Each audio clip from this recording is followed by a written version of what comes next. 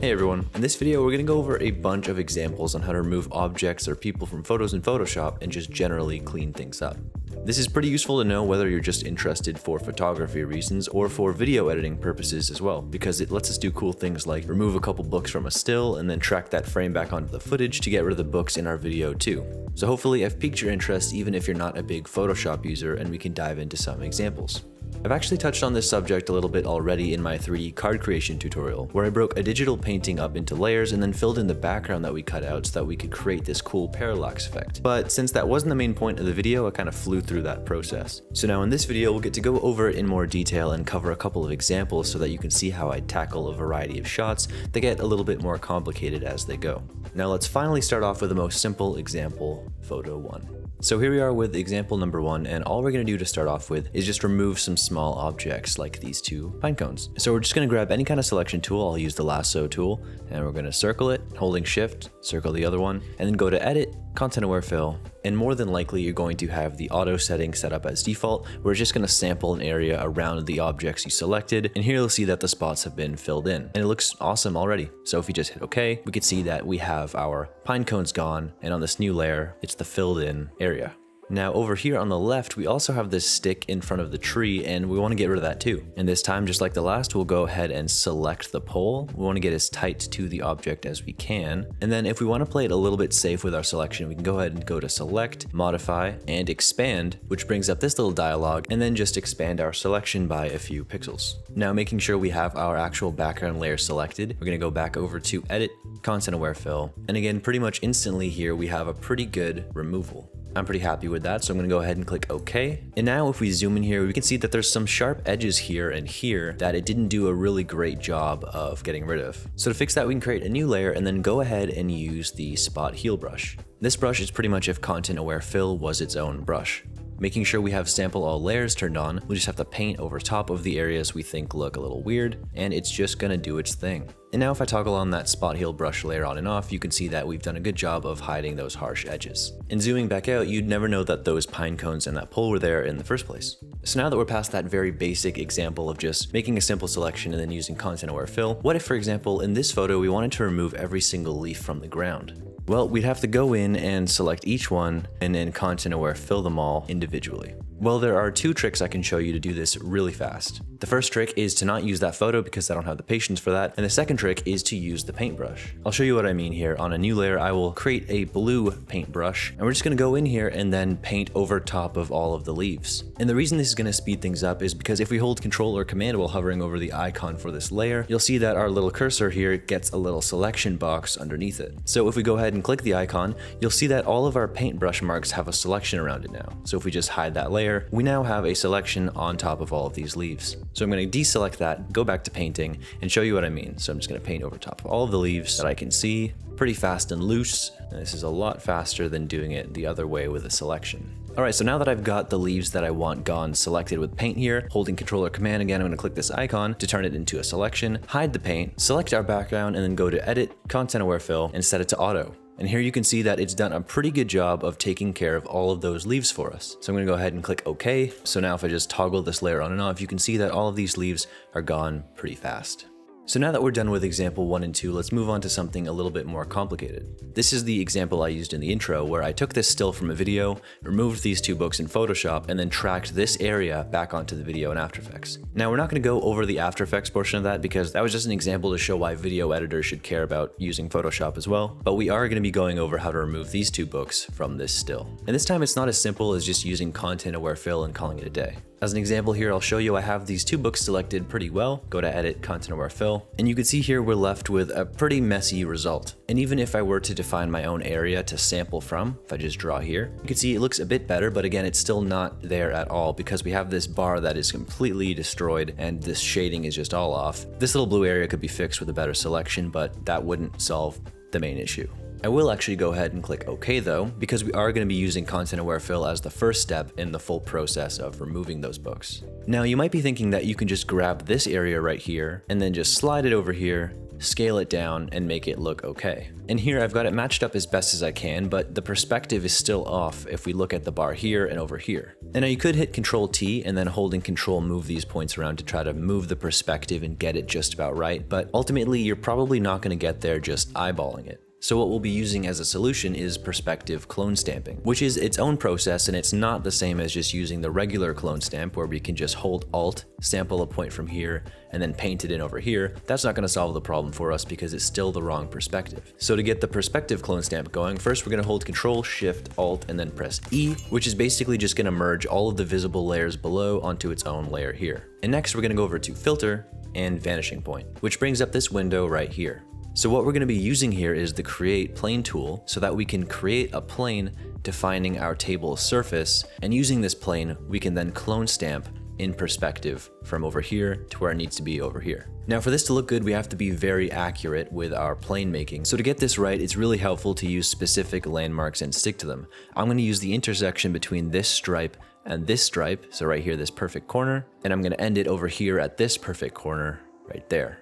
Then again hitting this corner finally hitting this corner. Up here we can use this grid size slider to change our grid view here just to preview if we've got a good plane going. One thing we have to think about first though is the clone stamp tool can only perspective clone stamp inside of the box we've just made. And the areas we want to clone stamp are both outside of the box here and here. Well, if we go ahead and use the edit plane tool, we can grab this point in the middle and extend our plane outwards this way and out this way as well. And now the two areas we need to use are inside of our perspective plane. So now grabbing the stamp tool, making sure my hardness is at zero, I'm gonna hold alt and sample a point right here, and then I'm gonna move up here and try to match it up as best as I can, and then just paint across in one line like this. And as you can see, this is a lot better than we could do by hand in terms of matching the perspective that this beam should be. Now there's still a lot of work we have to do to blend it in more, but I'm gonna go ahead and click OK, and you can see here we have a really good base to start our reconstruction from now. One of the first differences you'll notice from the actual image to our reconstruction is how dark this middle line is right here. If we look in the original, it's actually really faint, so we're going to try to match that in our edited version. So creating a new layer over top, I'm going to use the spot heal brush, and we're going to paint this line out right here. Now in content aware fill mode right here, it's not to do the best job filling that in for us, but if we switch over to proximity match, we're to get a better look. And the spots that don't work, we're just to go over them again,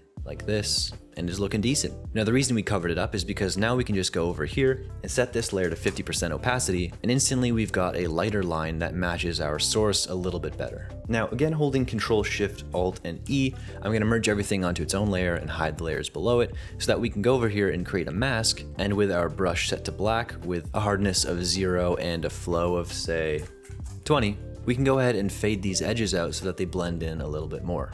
You can see if I toggle this on and off, the harsh edges are gone. Now the next step for us is going to be another round of content aware filling to get this patch right here looking a little bit more reasonable. So I'm going to start off by making a little bit better of a selection, going over to edit, content aware fill again, and now with this content aware fill we've done a lot better of a job covering all that up. Now if we hit OK and pull it back, this table looks a lot better.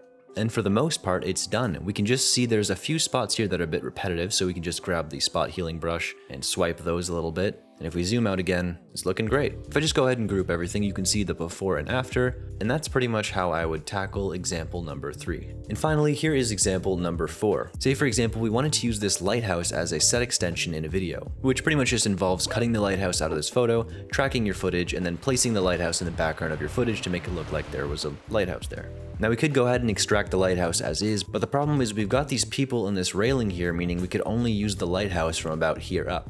So for this example, we'll be removing these people on this railing and then having to reconstruct everything that they're blocking, like this side of the window, over here, and this section of the wall right here that the people are covering. To start off like usual, we're going to be content aware filling just to get our base. So we're going to go ahead and make a loose selection over these people and the railing. So once we've got our rough selection of everything we want removed, we're going to go ahead again and go to edit, content aware fill, and here, like always, we're pretty close already with just our content aware fill. So we're gonna go ahead and click OK, Control D to deselect, and zooming in a little bit so we can see everything better.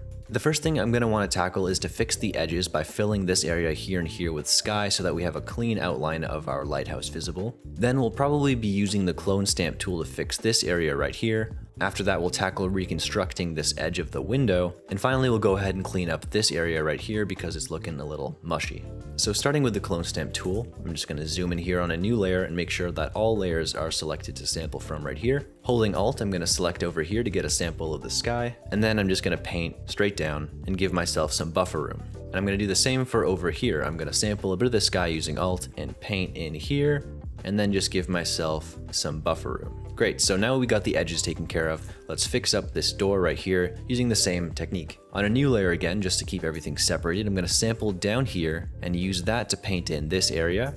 Sample this door below here to paint in right here. Sample the wall right here, paint upwards, and then just fill in the rest by sampling more black. Then we can just fix this patch up really easily by sampling from directly above it.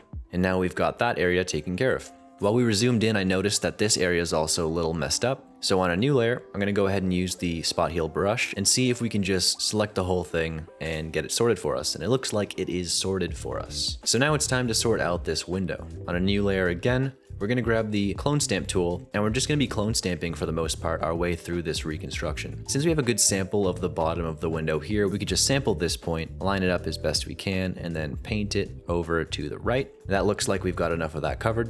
And now we'll just continue this strip down. So we'll just sample a point up here, line it up again like before, and then paint downwards.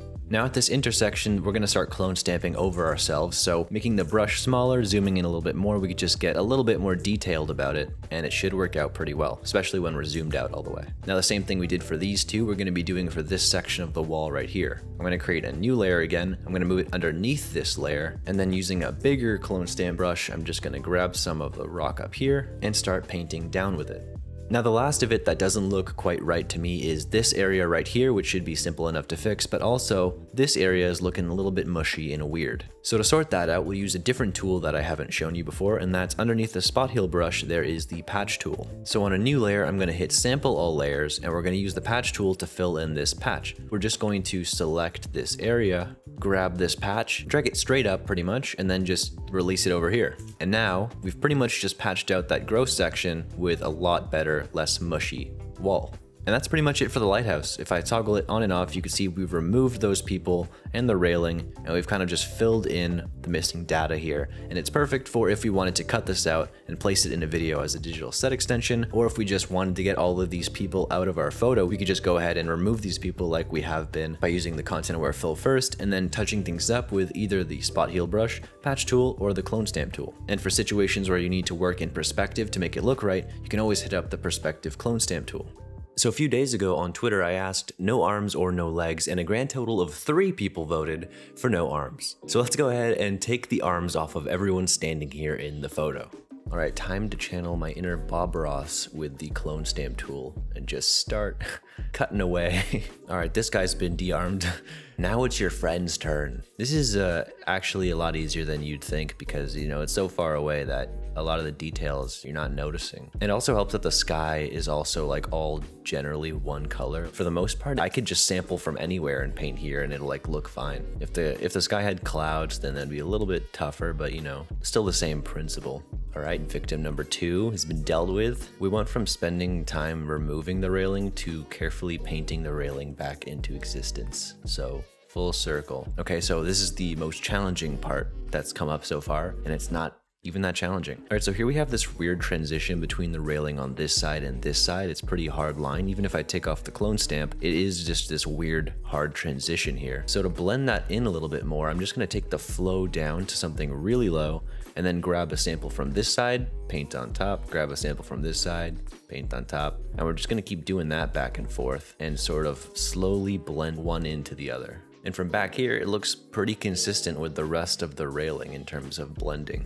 And here we are, the last guy who's about to lose his arms. It's been a wonderful ride, and I'd like to thank each and every one of you who voted for this, all three of you. I don't know your names, but I do know your hearts because they all scream in unison for lack of arms. And there we go. If you want a chance to influence something dumb in the next tutorial, make sure to follow me on Instagram and Twitter. Links for both are in the description.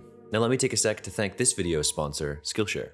If you weren't aware, Skillshare is an online learning community with thousands of classes for creators. They've got tons of topics you can explore, but the ones I was personally drawn to were film and video, productivity, and creative writing. A class that I watched recently that I think you might enjoy is Nathaniel Drew's course called Creativity Unleashed Discover, Hone, and Share Your Voice Online. He's also got a great YouTube channel, by the way. In the course, he goes over some great ways to find inspiration, get yourself in a more creative state, and stay consistent with whatever it is you're making. If any of that sounds good to you, then give his course and Skillshare a go. Skillshare is curated specifically for learning, so you don't have to worry about ads, and they're constantly launching new premium classes for members so you can stay focused and follow where your creativity takes you. If you're interested in joining, the first thousand of my subscribers to click the link in the description will get a one month free trial of Skillshare, so you can start exploring your creativity today. Thanks, Skillshare.